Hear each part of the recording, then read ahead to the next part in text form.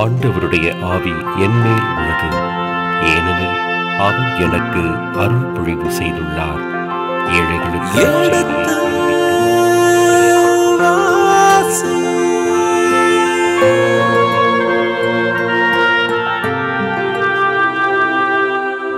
எடுத்து வாசி. அன்பார்ந்த மாதா தொலைக்காட்சி நேயர்களே உங்கள் அனைவருக்கும் வணக்கம். எடுத்து வாசி என்ற இந்த நிகழ்ச்சியின் மூலமாக லேவியர் புத்தகத்துக்கான தெளிவுகளையும் விளக்கங்களையும் நாம் அருட்தந்தை ரேமன் ஜோசப் அவரிடமிருந்து பெற்றுக்கொண்டிருக்கிறோம் எனவே நேற்றைய தொடர்ச்சி இப்பொழுது நாம் அருட்தந்தையிடமிருந்து விளக்கமாக பெற்றுக்கொள்வோம்.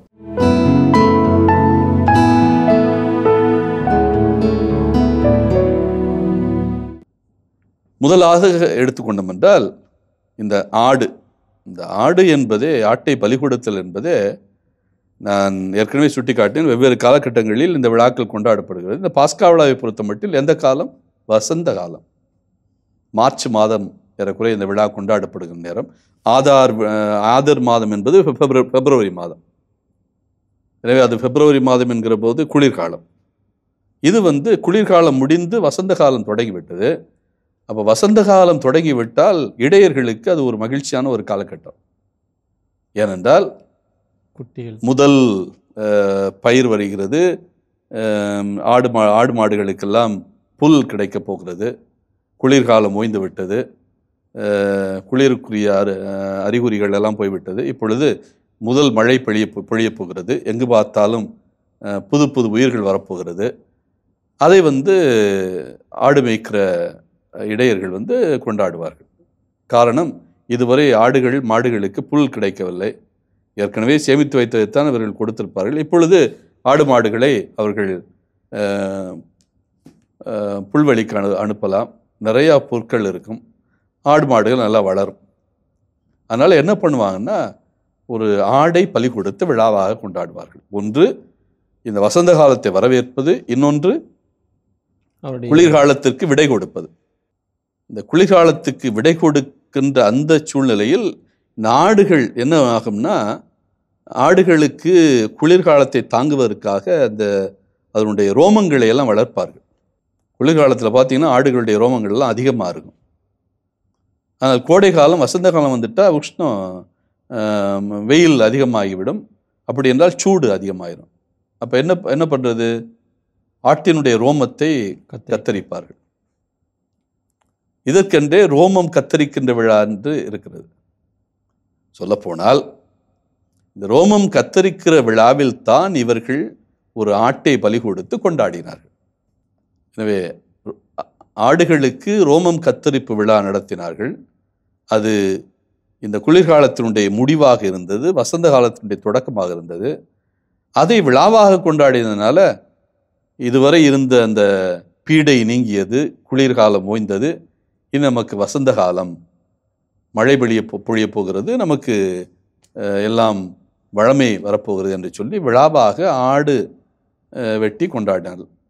அதனுடைய ஒரு சிந்தனை தான் இந்த ஆட்டை பலி கொடுத்தலே பாஸ்கா விழாவில். என்னால் இதுவும் வசந்த காலத்தில் நடப்பது தானே? அத்தோடு அந்த ஆட்டினுடைய இரத்தத்தை எடுத்து அவர்கள் என்ன செய்தார்கள்? வாயிற்படியில் வாசற்படியில் நிலையில் பதித்தார்கள். இதனுடைய விளக்கம் பிற்காலத்தில் அது எகிப்தியர்களுக்கு அடையாளம் காட்டுவதற்காக அல்லது எகிப்தியர்களிலிருந்து இவர்களை வேறுபடுத்துவதற்காக என்று சொன்னாலும் இதுவும் ஒரு தனிப்பட்ட விழா. இதை எப்படி பார்க்கணும்னா அந்த ட்ரைபல் ஃபீஸ்ட் என்று அழைப்பார்கள். இவர்கள் நாடோடிகளாக வாழ்ந்தவர்கள். எனவே பல்வேறு இனங்களாக குலங்களாக வாழ்ந்தார்கள். இப்படி அவர்கள் நாடோடிகளாக வாழ்ந்தபோது பல்வேறு இனங்களாக வாழ்ந்தபோது இவர்களுடைய இனத்தில் இருக்கிறவர்கள் எல்லாம் ஒரே சாரார் என்பதை சுட்டிக்காட்டுவதற்காக என்ன பண்ணாங்கன்னா அவர்களுக்குள்ளே இந்த இரத்த பரிமாற்றம். நீங்கள் ஆப்பிரிக்க நாடுகள்லாம் அந்த இனங்களை பார்த்தீர்கள் என்றால் ஆப்பிரிக்க இனங்கள் ஒவ்வொரு இனத்திற்கும் ஒரு அடையாளம் இருக்கும். வெட்டுக்காயம். அது முகத்தில் இருக்கலாம் வயிற்றில் இருக்கலாம் கையில் இருக்கலாம் காலில் இருக்கலாம். இதை வைத்து அடையாளம் காட்டுவார்கள். எப்படி என்றால் அந்த தலைவன் அந்த குழந்தையாக இருக்கிற போதே அந்த குழந்தையுடைய கையிலோ அல்லது முகத்திலோ அல்லது நெஞ்சிலோ சிறு வெட்டுக்காயம் ஏற்படுத்த அந்த இரத்தத்தை தன்னுடைய இரத்தத்தோடு இணைத்துக் கொள்வான். அப்படின்னா இனிமேல் இந்த குழந்தை என்னுடைய இனத்தை சார்ந்தது. நிறைய ஆப்பிரிக்க இடங்களில் பார்த்தீங்கன்னா இந்த வெட்டுக்காயங்கள் இருக்கும். இது அந்தந்த இனத்தின் அடையாளமாக இருக்கிறது. அதே போல இஸ்ராயேல் மக்கள் இந்த ஆட்டு ரத்தத்தை தங்களுடைய இன ஒற்றுமையினுடைய விழாவாக கொண்டாடி இருக்கிறார்கள் இப்ப ஏற்கனவே இந்த பாஸ்கா விழாவில் எத்தனை விழா வந்து சேர்ந்திருக்கிறது? இரண்டு விழா. ஒன்று இன ஒற்றுமை விழா இன்னொன்று ஆட்டிற்கு ரோமம் கத்தரி ரோமம் கத்தரிக்கின்ற விழா. இந்த இரண்டு விழாவும் இவர்கள் கொண்டாடி வந்திருக்கிறார்கள். இந்த சூழ்நிலையில் இறைவன் இவர்களை பாஸ்கா விழா கொண்டாடினோம் இந்த ரெண்டு விழாக்களையும் இணைத்தே அவர்கள் ஆரம்பிக்கிறார்கள். ஆனால் இந்த ரெண்டு விழாவும் இத்தோடு நிற்கவில்லை. இவர்கள் பிற்காலத்தில் வாக்களிக்கப்பட்ட நாட்டுக்கு போகிறார்கள் கனானியர்கள். அங்கு போய் அவர்கள் ஆடு மாடு மட்டும் மேய்க்கவில்லை. என்ன தொழில் கற்றுக்கொள்கிறார்கள்? விவசாயம். விவசாயம். இப்போ விவசாய தொழில் அவர்கள் கற்றுக்கொள்கிற போது ஆடு மாடு அவர்களுடைய கையை விட்டு போகிறது. அப்ப சில பேர் ஆடு மாடு மேய்க்கிறார்கள் சில பேர் விவசாயம் ஆனால் ரெண்டு பேருமே இஸ்ராயல் இனம். இஸ்ராயல் இனத்தில் இப்போ இரு தொழில் செய்கின்ற மக்கள் வருகிறார்கள். இப்போ ரெண்டு பேரும் என்ன பண்ணணும்? பலி பலி ஒப்பு கொடுக்கணும் ஆடு மாடு இல்லாதவன் என்ன செய்ய முடியும்? அவனுக்கு என்ன இருக்கிறதோ அதைத்தான் அவன் பலி கொடுக்க முடியும். அப்போ அவன் கையில் என்ன இருக்கு? விவசாய இடத்துல தானியங்கள் தானியங்கள். இருக்கிறது. அப்ப அவன் என்ன செய்கிறான்? நீ ஆடு மாடு மேய்க்கிறவன் ஆட்டை பலி கொடுத்தால் நான் தானியங்களை விளைவிக்கிறவன் நான் என்ன பண்ண போறேன்? அதே பாஸ்கா விளைவில அப்பத்தை பலி கொடுக்கிறேன். அந்த அப்பம் புது அப்பம் பழைய அப்பம் அல்ல. புளியாத அப்பம். புழியாத அப்பம். புளியாத அப்பத்திற்கு பின்னால அந்த மாவை பிசைப்பதற்கு அதை புளிக்க வைப்பதற்கு நேரம் இல்லாதனால நான் விரைவாக அதை செய்ய வேண்டியதுனால அது புளியாத அப்பமாக இருந்தது என்று பின்னால் விளக்கம் சொன்னார்கள். ஆனால் இந்த புளியாத அப்பம் என்பது புளித்த அப்பம் பழமை. ஆனால் இங்க இந்த புளியாத அப்பம் என்பது புதுமையை சுட்டி காட்டுகிறது புதிய அப்பத்தை புதிய தானியத்திலிருந்து அது செய்யப்பட்டது. முதல்ல ஒரு நாள் தான் அதை படைத்தார்கள். அதற்கு பிறகு ஏழு நாட்கள். அதனால தான் இதை வந்து புழியாத அப்ப விழா என்று அழைக்கிறார்கள்.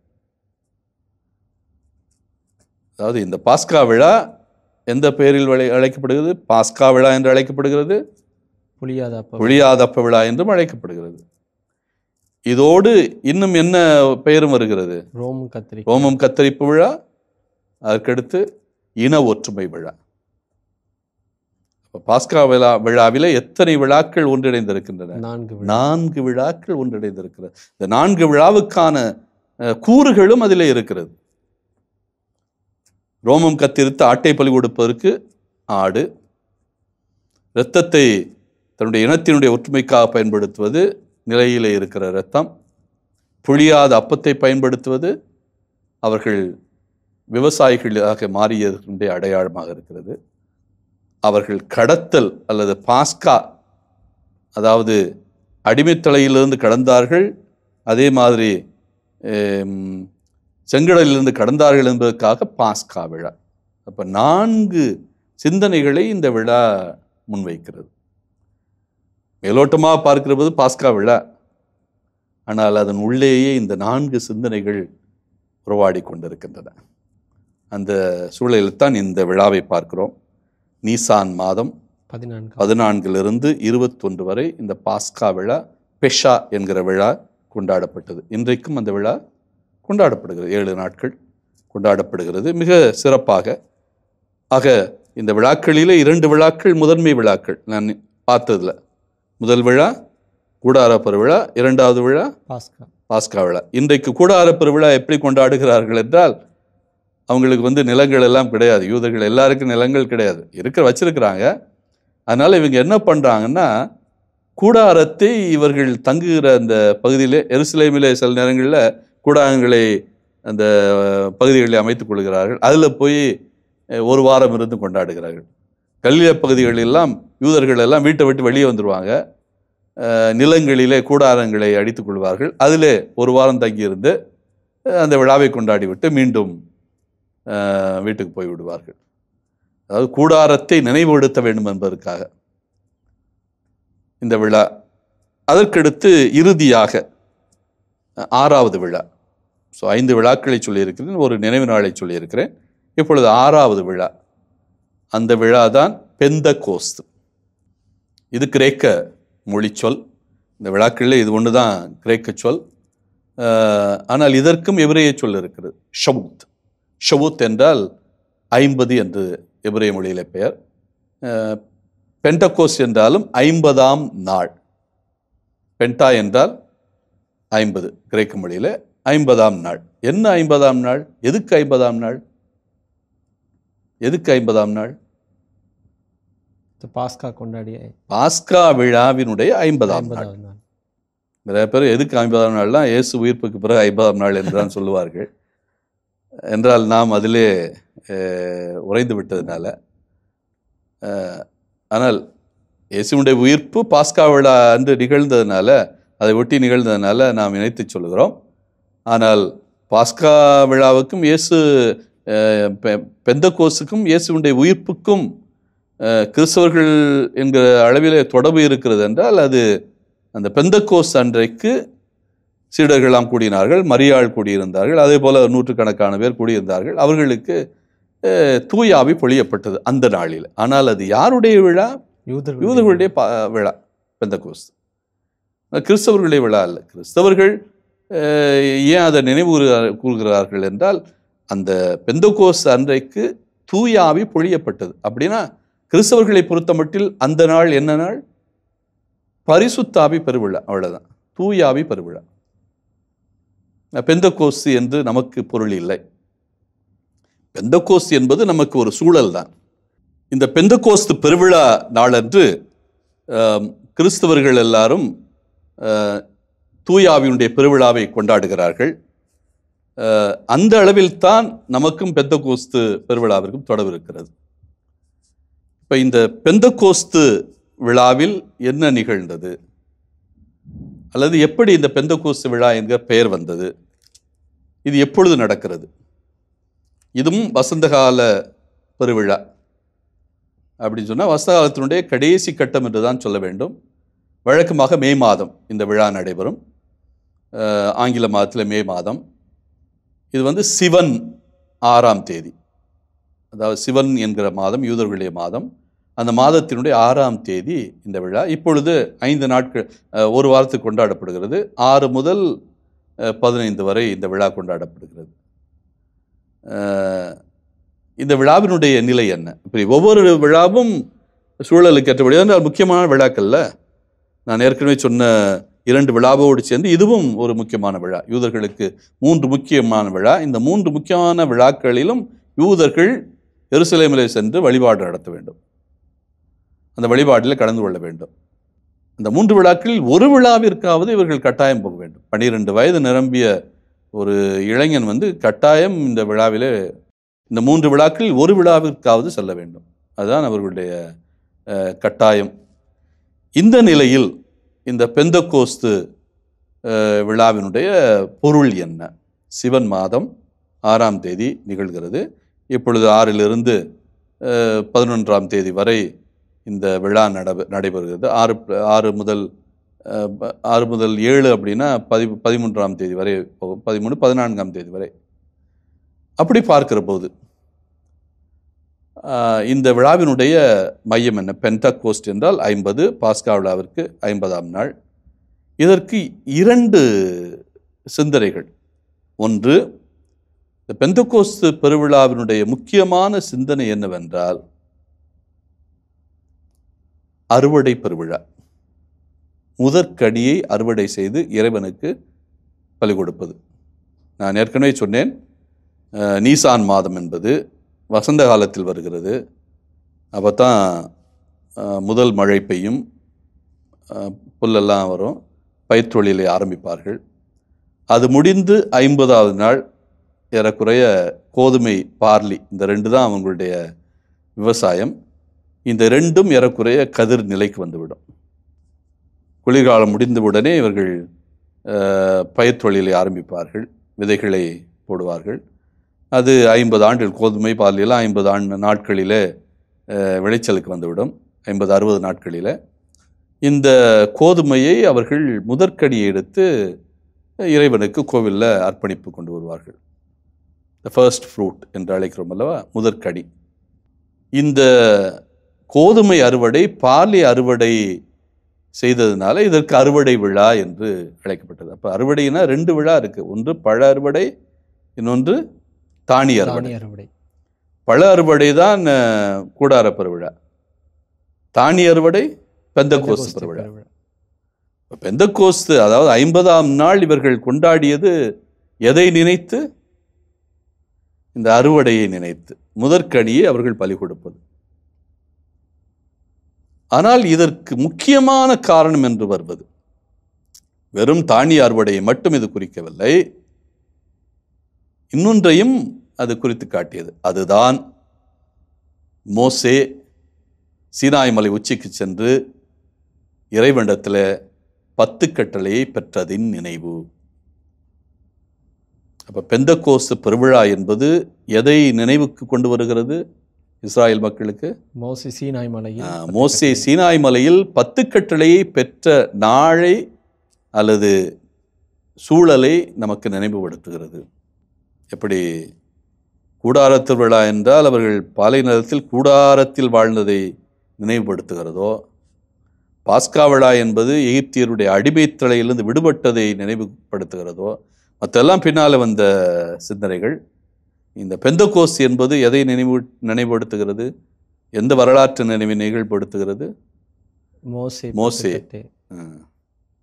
ஒவ்வொரு விழாவிற்கும் ஒரு வரலாற்று பின்னணி இருக்கிறது. அதுதான் நான் சுட்டிக்காட்ட விளைகிறேன் எல்லா விழாவுக்குமே ஒரு வரலாற்று பின்னணி இருக்கிறது. அந்த வரலாற்று பின்னணியின் அடிப்படையில் தான் இவர்கள் விழாவை கொண்டாட ஆரம்பிக்கிறார்கள். பின்னாலே அவர்கள் சூழலுக்கு ஏற்ப பிற பிற சிந்தனைகள் உள் வாங்கப்படுகிறது. அவையும் இந்த விழாவோடு இணைக்கப்படுகிறது. ஆக சிவன் மாதம் ஆறாம் தேதி. இப்பொழுது மீண்டும் அது ஏழு நாட்களாக போகிறது. ஆறிலிருந்து ஏழு நாட்கள் என்கிற போது ஏறக்குறைய பன்னிரெண்டாம் தேதி பதிமூணாம் தேதி அல்லது பதினோராம் தேதி அல்லது பதினைந்தாம் தேதி வரை கூட செல்வதற்கு வாய்ப்பு இருக்கிறது. இந்த விழா கொண்டாடப்படுகிறது பெந்த கோஸ்து ஐம்பதாம் நாள். பாஸ்கு விழாவிற்கு ஐம்பதாம் நாள். ஆக இந்த விழாக்களை பற்றி நாம் பார்க்கிற போது ஆறு வகையான விழாக்கள் இருக்கிறது. ஒரு நினைவு நாள் இருக்கிறது. மீண்டும் அதை நாம் வரிசைப்படுத்த வேண்டுமென்றால் புத்தாண்டு விழா அதற்கு எக்கால விழா என்று பெயர். எப்ரேய மொழியில் ரோஸ் ஹாஷனா என்று பெயர். அதாவது ஆண்டின் தொடக்க நாள். இது திஸ்ரி மாதம் முதல் தேதி கொண்டாடப்படுகிறது. இரண்டாவது பத்தாம் நாள் திஸ்ரி மாதம் பாவக்கழுவாய் நாள். இதை ஆங்கிலத்தில் அட்டோன்மெண்ட் டே என்று அழைக்கிறோம். யோம் கிப்பூர் என்று எபிரே மொழியில் அழைக்கப்படுகிறது. இது இரண்டாவது நிகழ்வு. ஆனால் இது விழா கிடையாது. இது ஒரு நினைவு நாள். அதற்கடுத்து நாம் பார்ப்பது பத்த பதினான்காம் தேதியிலிருந்து இருபத்தோராம் தேதி வரை திஸ்ரி மாதம் கொண்டாடப்படுகின்ற கூடார பெருவிழா. இந்த கூடார பெருவிழாவிற்கு வேறு பெயர்களும் இருக்கிறது. குறிப்பாக உடன்படிக்கை பேழை விழா அறுவடை விழா. என்ன அறுவடை விழா? பழ அறுவடை விழா. இதை வந்து எபிரேய மொழியில் சுக்கோத் என்று அழைக்கிறோம். சுக்கோத் என்றால் கூடாரம் என்று பெயர். அதற்கடுத்து நான்காவது சிஸ்லே மாதம் பது இருபத்தி ஐந்தாம் தேதி ஹணுக்கா என்று எபிரேய மொழியில் அழைக்கப்படுகிற கோவில் அர்ச்சிப்பு விழா. கோவிலை மீண்டும் அர்ச்சித்த விழா. அதைத்தான் நம்ம ஹணுக்கா என்கிறோம். இதை ஒளி விழா என்றும் அழைப்பார்கள். The feast of the lights rededication of the temple அதற்கடுத்து ஆதார் மாதம் ஆடர் என்ற யூதாஸ் மா மாதங்களில் பனிரெண்டாம் தேதி கொண்டாடப்படுகின்ற பூரிம் விழா. இது எபிரேய மொழியில் அழைக்கப்படுகிறது.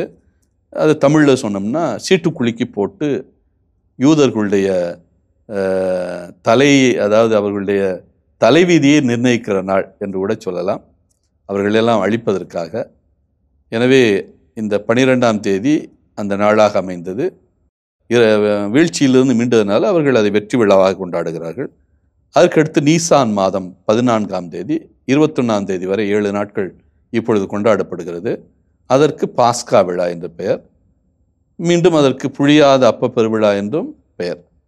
அதோடு இரண்டு சிந்தனைகளும் உள்ளே இருக்கிறது. ஒன்று ரோமம் ரோமம் கத்தரிக்கின்ற விழா. இன்னொன்று அவருடைய இனத்தை இனத்தின் ஒற்றுமை விழா. இறுதியாக சிவன் மாதம் ஆறாம் தேதி நிகழ்கின்ற இப்பொழுது பதினைந்தாம் தேதி வரை செல்லுகின்ற பெந்த கோஸ்து பெருவிழா அதற்கு ஷுவோத் என்று பெயர். ஷுவோத் என்றால் ஐம்பதாவது ஐம்பதாவது நாள் என்று எபிரேய மொழியிலே பெயர். ஆக இதுதான் இந்த யூதர்களுடைய. பல்வேறு விழாக்களுடைய விளக்கம். இந்த விளக்கத்தை அடிப்படையாக வைத்து நாம லேவியர் புத்தகத்தினுடைய இருபத்தி மூன்றாம் அதிகாரத்தினுடைய அந்த பிற விழாக்களை நாம விரிவாக பார்க்கலாம். அன்பார்ந்த மாத தொலைக்காட்சி நேயர்களே நாம் லேவியர் புத்தகத்திற்கான விளக்கங்களை தெளிவாகவும் ஆழமாகவும் அருத்தந்தையிடமிருந்து நாம் கேட்டு பெற்றுக்கொண்டோம். இதனுடைய தொடர்ச்சியை நாளை பார்ப்போம். நன்றி வணக்கம்.